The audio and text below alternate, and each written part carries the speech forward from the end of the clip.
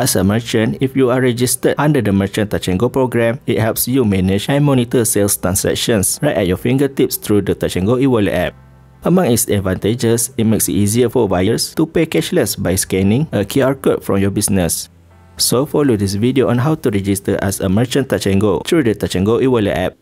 First of all, after you open the Touch 'n Go e-wallet app, on this main page, tap on the profile section located in the upper right corner. On this page, tap on the merchant dashboard. To start registering as a merchant, tap on the Sign Me Up as a merchant.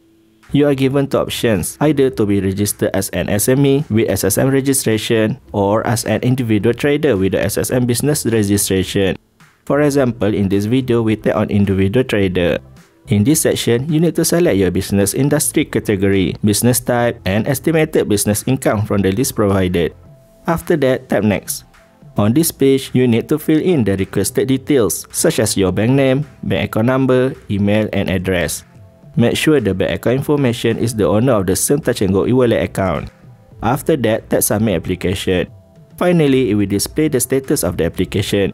About one hour, you can start accessing the merchant dashboard in this application to monitor payment and sales records.